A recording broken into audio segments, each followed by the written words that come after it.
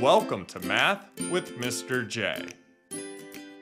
In this video, I'm going to cover how to order decimals, and for our example, we're going to order the decimals from least to greatest. Now, the first thing that we're going to do to help us order these is line them up off to the side, and we're going to line up the decimal points. This is going to line up all of the places. So let's line up all of these right here. So we'll start with 1 and 3 tenths. Then we have 75 hundredths. Then we have 1 and 252 thousandths. Next, we have 1 and 295 thousandths. And then lastly, we have 8 tenths. Now this does look a little off since we have numbers going to different places. So what we can do, we can use placeholder zeros. Remember, zeros to the right of decimal digits do not change the value of the decimal. It gives us an equivalent decimal, so we can do this. We need to find the decimal that goes to the furthest place to the right. That's going to be the thousandths place here, and here. So let's use placeholder zeros to the right of the other decimals to make them go to the thousandths place as well. So for 1 and 3 tenths, we need a placeholder zero here and here. For 75 hundredths, we need a placeholder zero here.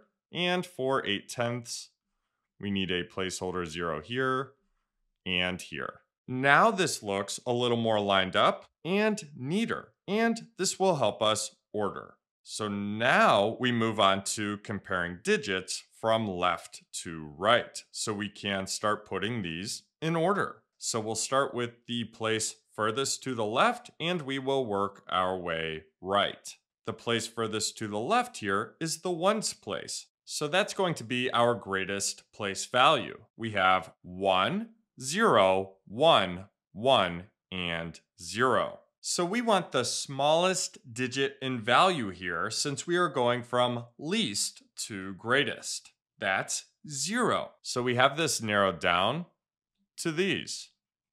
Since those digits are the same, we go to the next place to the right to compare. That's going to be the tenths place. We have a 7 and an 8. So we're comparing the tenths place of those two decimals to see which is going to be the least. So having a 7 and an 8, we know that 7 is less than 8. So this is the least. So let's write 75 hundredths first here and I wrote the decimal from the original list. Again, 75 hundredths. Not the equivalent decimal with the placeholder zero, 750 thousandths. Now again, those are equivalent, so either will work, but I'm going from the original list. Then we can put a comma and cross this off.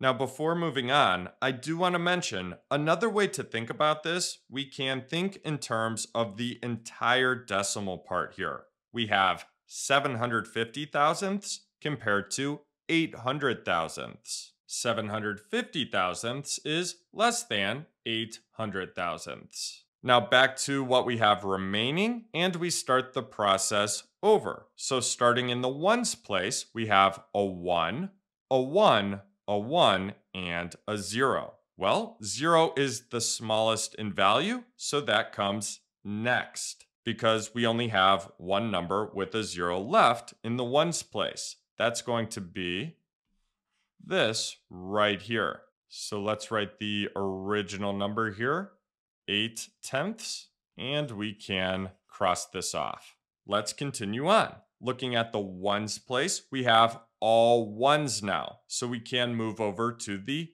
tenths place. We have 3, 2, and 2. Those 2's are less than 3. So we have this narrowed down to these right here. Both have a 2 in the tenths, so we need to move over to the next place. the hundredths place and compare those digits. We have a 5 and a 9. 5 is less than 9, so that comes next. 1 and 252 thousandths. And we can cross this off. Now, another way to think about that, we could have thought 252 thousandths compared to 295 thousandths. 252 thousandths is less than 295 thousandths. Now we are down to our last two decimals. So let's compare digits. We have ones in the ones place. So let's move over to the tenths. We have a three in the tenths and a two in the tenths. Two is less than three. So one and 295 thousandths comes next. So we can cross this off and we are down to our last one, one and three tenths. So that comes last. And let's cross that off to show that we are done with everything here. We have all of our decimals in order from least to greatest. So there you have it. There's how to order decimals. Just remember, line up the decimal points, use placeholder zeros, and then compare digits from left to right. I hope that helped. Thanks so much for watching. Until next time, peace.